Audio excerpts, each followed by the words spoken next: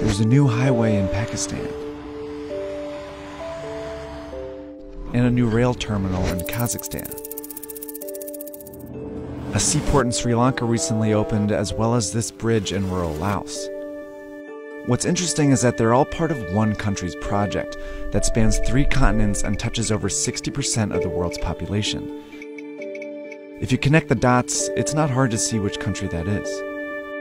This is China's Belt and Road Initiative, the most ambitious infrastructure project in modern history that's designed to reroute global trade. And it's how China plans to become the world's next superpower.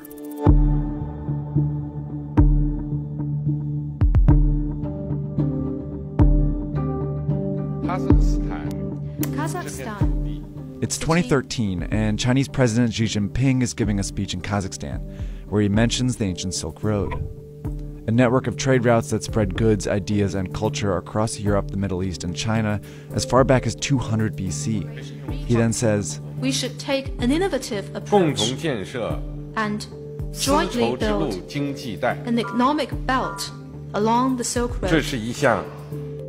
A month later, Xi is in Indonesia.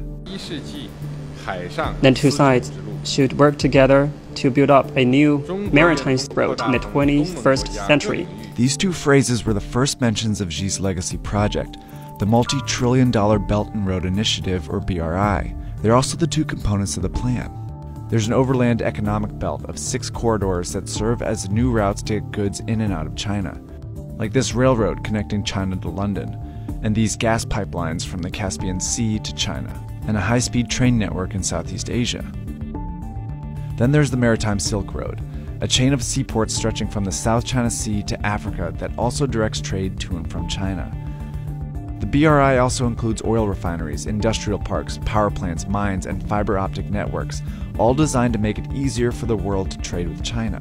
So far, over 60 countries have reportedly signed agreements for these projects. And the list is growing because China promotes it as a win win for everyone. Take, for example, the BRI's flagship project, Pakistan. Like many countries in Central and South Asia, Pakistan has a stagnant economy and a corruption problem. It wasn't a popular place for foreign investment, that is until China came along. In 2001, China offered to build a brand new port in the small fishing town of Gwadar.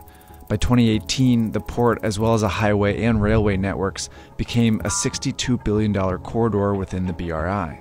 It's where the economic belt meets the maritime Silk Road, and it seemed to benefit both countries. Pakistan saw its highest GDP growth in eight years and forged a tight relationship with a major world power. China, on the other hand, secured a new alternative route for goods, especially oil and gas from the Middle East. Through projects like these, it also found a way to boost its economy. Chinese construction companies that had fewer opportunities within their own country saw a huge boost from BRI contracts. Seven out of the ten biggest construction firms in the world are now Chinese. What tips the balance in China's favor even more is a requirement that it be involved in building these projects. In Pakistan, for example, Chinese workers have directly built projects like this highway here, and a Chinese firm has worked with locals on a railway here in Serbia.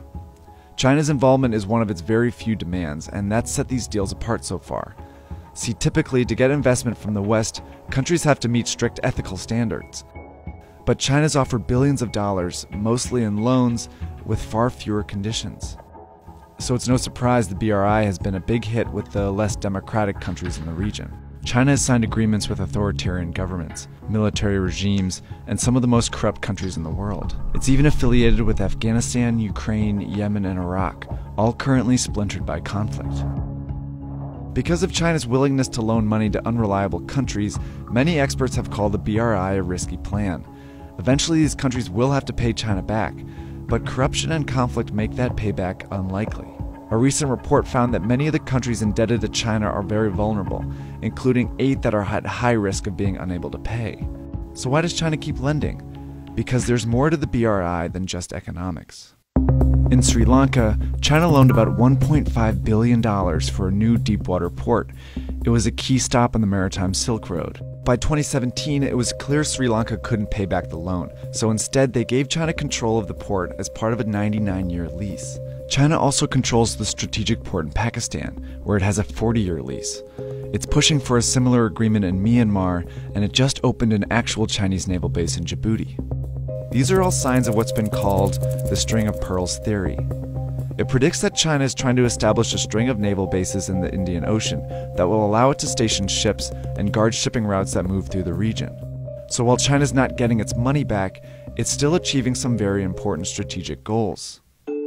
China's growing influence challenges the status of the US, which has been the world's lone superpower for the last several decades.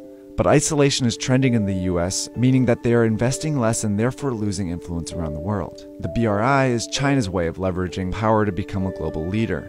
By building relationships and taking control of global trade, China's well on its way.